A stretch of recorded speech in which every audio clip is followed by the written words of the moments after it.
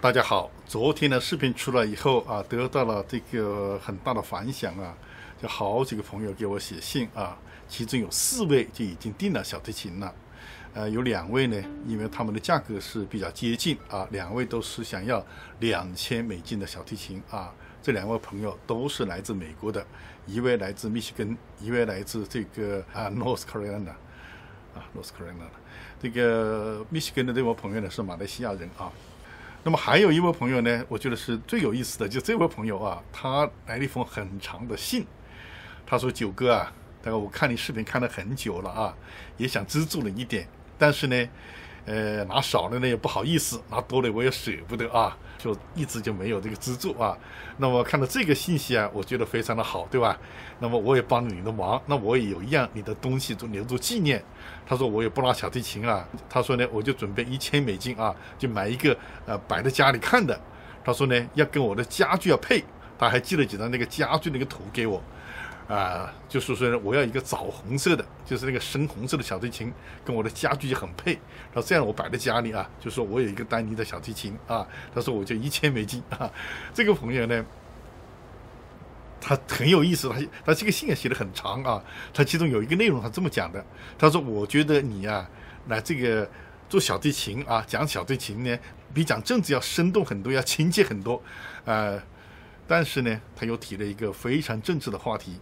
他最后这个在信里面提了个问，他说：“哎，九哥啊，他说你觉得资本主义好还是社会主义好？因为这是一位大陆的朋友啊，他住了大陆啊，所以他呢没有这个出过国。他最后就问了一句，他说你讲句心里话，你是觉得美国好还是中国好？社会主义好还是资本主义好啊？”那么这位朋友呢，因为他不是拿琴的，对不对？呃，而且这个琴呢，呃，那么今天呢，我只能准备两把，所以我准备这两把琴呢，都是这个两千美金的小提琴啊。这是我的 J 系列，就是说 J Daniel 啊，Junior Junior Daniel 这个系列的小提琴啊。这个这一把呢是这个枣红色的啊，这个琴是挺好看的。这是一个新琴，这个是二零零九年制造的啊，枣红色。啊，另外一把琴呢是一个仿古琴，这个琴呢其实是一个新琴，但是看上去呢像旧琴啊，它是做故意做的一个仿古的这种这种感觉的琴啊，是一块面的这个这个背板啊。那么我为什么要讲小提琴呢？其实我就是告诉大家啊，有得就有失，世界上其实是没有完美的制度，没有完美的社会啊，就说中国的社会主义。有中国的社会主义的好处，就比如说最近啊，就是说这个又公私合营也好，怎么也好啊，就把很多大的这个公司啊，又收回国有，有这样的趋势啊，其实它是有它的道理的。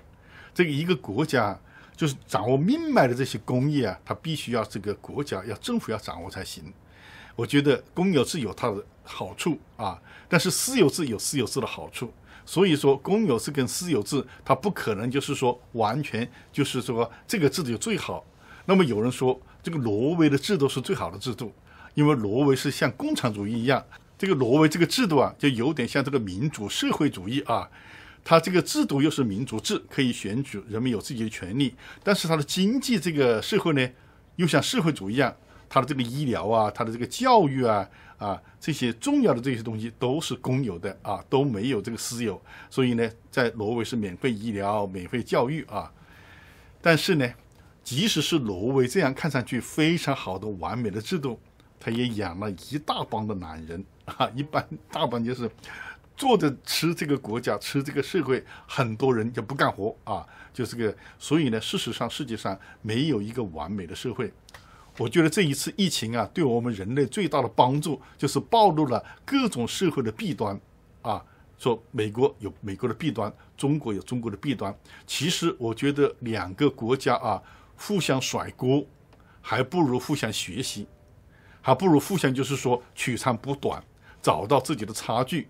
从现在啊，就是说求共存。事实上，中国也没有能力消灭美国，美国也没有能力消灭中国。中美将来一定是要合作下去，要并存下去的。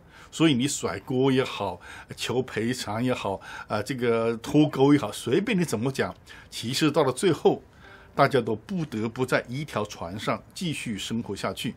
所以这一次的所有的政治家，我觉得他们的任务是要找到自己制度的弊端，找到对方的制度的优势，然后去学习对方的，这样两个社会才能进步啊！就像小提琴一样啊，这两把小提琴是这个一个是仿古的，一个是枣红的，没有一把琴它是完美的，它都有它的特色。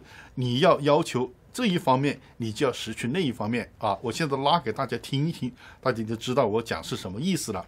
这一把仿古琴啊，由于它仿古的时候，这个是真正的仿古琴，它是连材料都老化了，所以它拉起来已经像老琴的声音，非常的甜美，非常的柔美啊，非常的这个高贵，但是它就没有 power，就没有力量啊，就没有那个，对吧？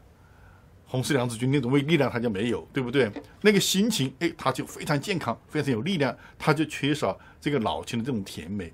所以有得就有失，你不可能就找到一把，我想买一把完美的小提琴，这个基本上是不不存在的啊。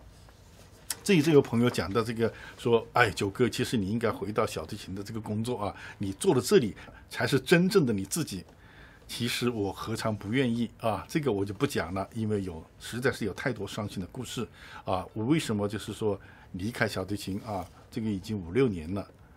由于我这个前太太她砸了我的所有的东西，把我的手都弄坏了。我实在是每次我拿起小提琴，我心就疼。所以这个问题呢，就请你原谅，我就不能回答你。OK，下面我把这两个琴呢，就是我拉一拉啊。请这两位客人选一选，大家也一起欣赏一下，OK。另外呢两位客人啊，一个是需要一千的，一个是需要这个四千的。那两位朋友呢，我在下一个节目在这个跟大家做视频，OK。谢谢大家。那么这个第一把要向大家介绍的呢，是这把这个枣红的小提琴啊。这把琴呢是新琴，所以它非常的 powerful 啊，很有力量。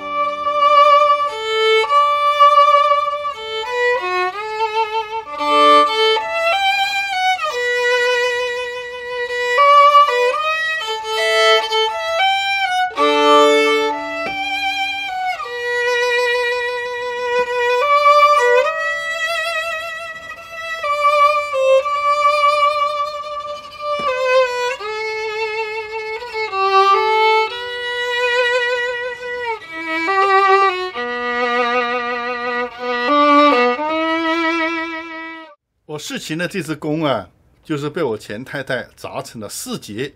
这个我专门有一个视频的，说我怎么样把这个弓从四个节，从四节又接起来，重新可以用。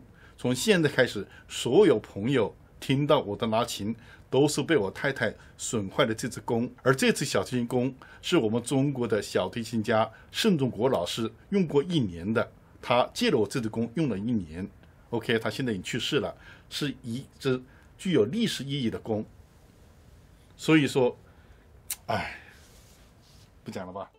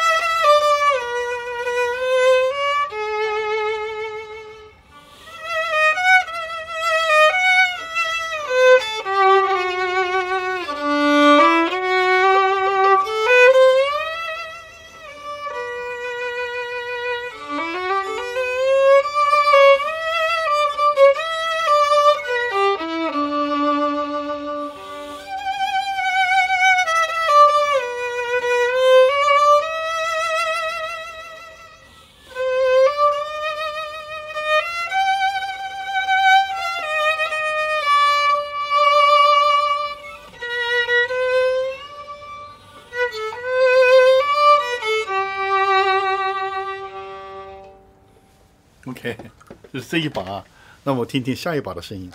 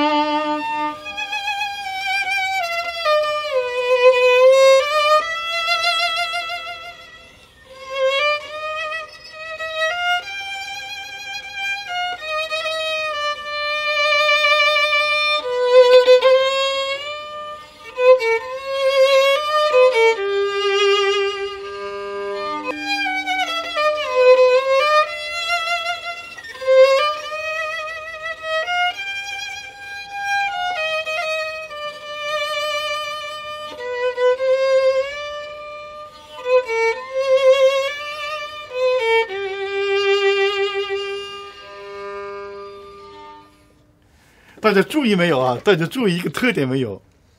这两个琴的风格完全不同。九个拉琴的风格也变了，九个拉琴的风格根据这个琴的不同而变化。这也就是说，你找个什么样的老婆，你的性格也会变；你住在什么样的国家，你的性格也会变。人是根据这个环境，根据这个情况会产生变化的。我们从拉琴又讲出了另外一个生活的哲理。OK，谢谢大家，谢谢所有啊向我们买琴的这些朋友。OK，谢谢大家。